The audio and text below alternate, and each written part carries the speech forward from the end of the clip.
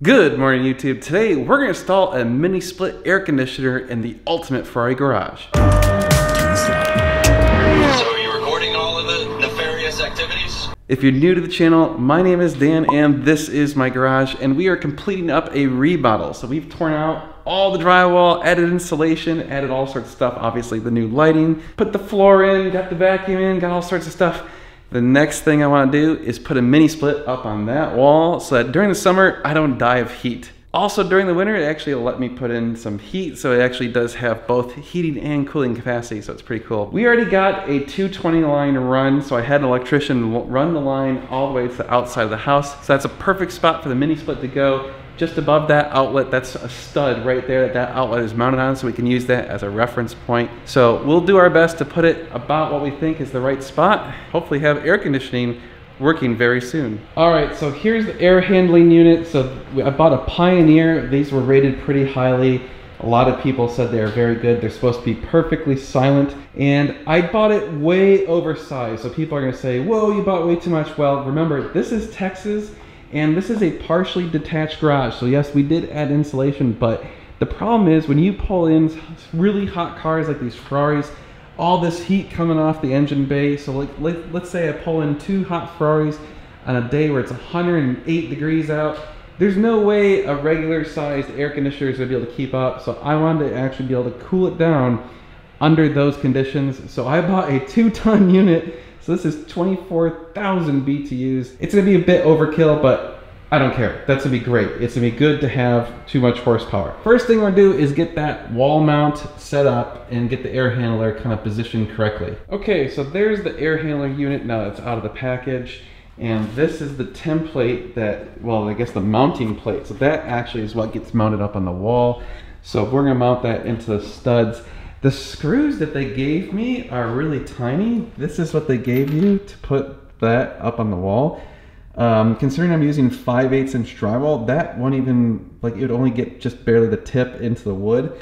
So I'm gonna use these big ass screws because I really don't want that thing falling down and then I don't have to use drywall anchors because we're gonna be going straight into the stud. So I think that's gonna be a safer bet. So again, we have a stud located right there where that outlet is. So we're just gonna kind of take that stud use that as our starting point. So the only thing we have to figure out is exactly how high we want it. I don't want it all the way up at the ceiling, but probably about at the height of what that track is at. So that's kind of about what we're gonna target. We're gonna use a stud finder just to verify that we got the stud located correctly. I mean, it should be straight up from here. It's about like right here, maybe here is about where we wanna put it.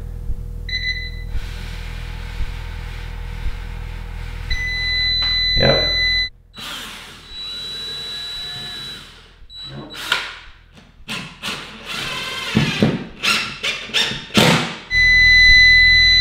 All right, we got our level. Make sure that level.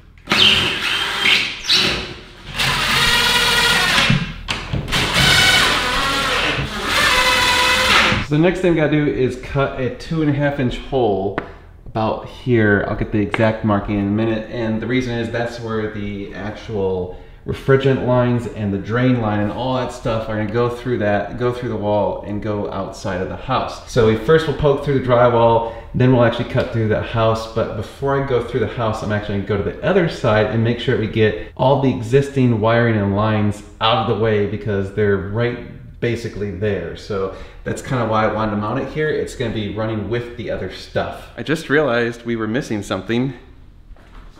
Moses. What are you doing, buddy? What you doing, Mr. Mo? Huh? What you doing? You smell all the smells? Yeah, it's a totally new garage. Oh, whoops, sorry. I mean to scare you, everybody.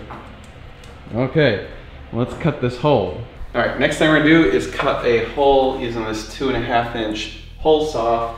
And it's gonna go right there so that the hoses can go through. We have to cut it at a slight down angle. So it's supposed to be like a quarter of an inch down angle gonna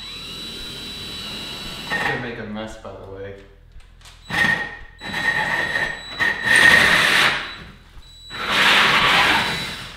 There's a bunch of insulation. I'm gonna use a razor blade and just cut that out so we can get a clear line of sight into the board. Insulation's out there, you can cut a hole.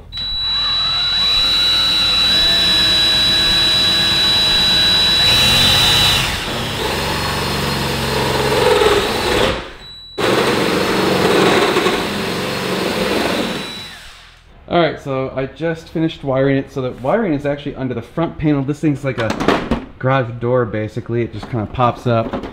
And uh, there's a little panel right here. You had to pop that off, unscrew this little black thing, and that exposed the wiring terminals. So now we've got this wire, which will actually run to the, the condenser unit, which will be through the wall. So that wire's gonna go through the wall, and then we also gotta connect the hosing, or the copper pipes that will actually run from the back of this unit. So we gotta get those on next. All right, we've got our copper pipe coil, and you can see here are the terminals that we're gonna have to connect those to and then that will be run through the wall. We have to be really careful not to kink it or break any of those copper lines. So you gotta unfurl it really gently. But we're gonna connect those first and then we'll start threading the hose through the wall. All right, got the hose threaded through the hole. Just need to connect it here and you can see it's coming out here. So eventually we're gonna have to run it down there behind this unit and then up up on the wall we're gonna mount the the condenser of the unit. Whew, okay, got the air handler mounted up on the wall. The pipes are run. Let me tell you, installing that by yourself is really tricky. Uh, definitely don't do that. I was dumb. I should have waited for someone, but oh well, it is up there. It looks good. Okay, we've got the electrical wire run from the disconnect into the unit, and we have the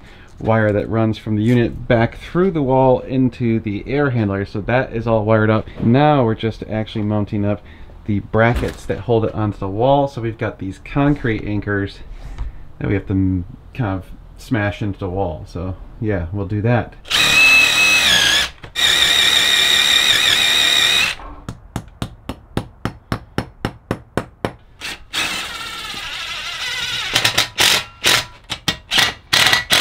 Okay, the wall mounts are up.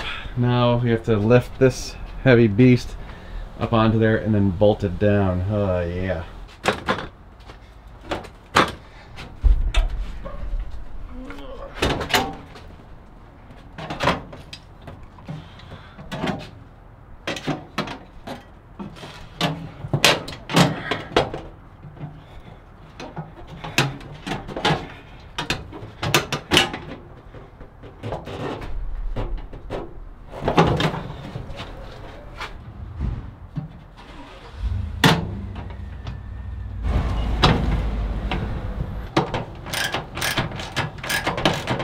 All right, she's mounted up. Uh, we just gotta get the plumbing done, evacuate the lines, and then run it.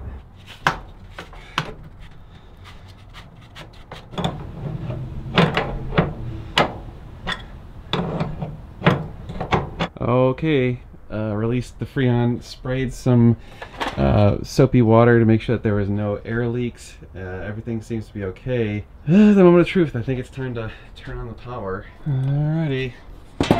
The main panel, and they actually threw it. We repurposed the range because, well, we don't use a range, so. Just kidding. Alright. Alright, we got it blowing. Let's see if it's blowing cold so far. Not really. Let's go check the compressor. Huh. That's not running yet. Okay, that's running. And now we got the condenser running too. It's actually really, really quiet. Listen to this. Wow, you can barely hear that. That's impressively quiet. I like it. Whoa, when I came back in, it is blowing super cold. Holy crap, that's cold. Wow. Okay, well, it says to test run it for quite a while, so we'll let it run for a while. Then we'll run the heat and see if we can get to generate some heat. Wow, that is cold. Sweet. Hi guys. So this actually looks way nicer than I thought it was. And so the garage is, it looks like it's coming together, thank God. And except one thing I will never accept is Dan says this is the proper way. That Oh. light switches go in, like apparently, theor- no, Oh. that's not how With anybody. the little, the center dock facing down versus up. Yeah. Nobody puts in light switches. If that's the proper way to do it, tell the whole world. I, I don't think there is technically a proper, but I It's normally, weirding me out, man. I, well, I can always flip them. I did it that way because partly, uh, like, I thought I'd seen that that's actually the way it goes, and then the sockets actually had text on it, and that's the way the text was correctly oriented. Oh, I Oh, hear the heat. I hear, I hear it working. Is it finally turning on the heat? Oh yeah, yes, there it it goes. is. Oh my gosh. Okay. So let's turn on the heat. Well, I spent, it said to test run it for like you know a few minutes, so I'm gonna let it run for a few minutes. Yeah. Oh, and then you got to see the outside condenser unit. See how quiet it is? Oh, you had to punch through the stone. Yeah. How did you punch through the stone? Uh, with the masonry bit, What? uh, masonry drill bit. How big a hole does that? It's like that big. Oh, is that all? Yeah, there's four of them. Is this like gonna fall? No. Hell no, it's in stone. Okay. Well, yeah, no, it looks like a heavy thing precariously perched. And the fact that, like, Blake, baby, I believe in you, but this is kind of like. Okay. hey, it's quiet. You like how quiet it is? Yeah, no, I'm afraid it's gonna smash the toddler next door one it's day. not gonna fall. Is it cool that we have it on the outside of the house like this? Is that like Yeah, code? Yeah, yeah, that's fine. It's okay? Yep. Okay. That's where when the AC guy came out and gave us a quote. That's where he said he was gonna put it. Okay, yeah, because I imagine like the. Well, they H- can't. They can't put it directly above this. Yeah. Because then it just blow the heat right into it. And we decided it didn't make sense to put it over here because then you can't really open this. The door, yeah. And so level? it is. Well, yeah. So that's the crazy thing is, the stone is not flat. Yeah, no, I know that. So like this foot is sticking way out more than the other, and also the ground is not flat right here. yeah, that's true. So it's level. It's just the ground isn't. It makes it look unlevel. It's, like one of those like it's a- optical illusions. Yeah, yeah. Because I was like checking and rechecking. I'm like, what the hell? Okay, so yeah, no, you made a lot of progress today. I mean, you Yeah, feeling this good is this is like the last major component. before those big cabinets come. Right, those are coming Monday. Oh, it sounds like it's really blowing now. Holy crap! Feel the heat. Whoa, that's that's intense heat. You'll be able to have Mo back in here in the Yeah, winter. I already did. Did he like it? Yeah, isn't that nice? This is working really effectively. Isn't it awesome? And it's super quiet, isn't that? Yeah, no, it's not loud at all. Said the guy who owns a Ferrari. Well, yeah. You're happy. I am with. I think you did good. I'll take that. Yeah. Okay, except the light sockets. A- Again, if that is the proper way to install light sockets, and if you find like the patent for light sockets back in 1800 and they say this is how they're oriented, fine. But then tell everyone else that. Okay. Because that's anybody who looks at that is going to go, why are your light sockets upside down? Wow, I can feel the heat from here. I know. Damn. That's awesome. I'm very happy. Well, I think that's gonna do it for this video. Meg's home. Neighbors are out playing. We're gonna go do some stuff with the neighbors and enjoy the day. Ah, that's so, so nice. I can't wait to actually be able to use it in the summer and in the winter. Heat and cool this sucker. Ah, it's gonna be super, super nice. Thank you guys for watching. You guys are amazing. We have lots of car stuff coming your way. You're gonna wanna stay tuned. It's gonna be sweet. Yes, you lot.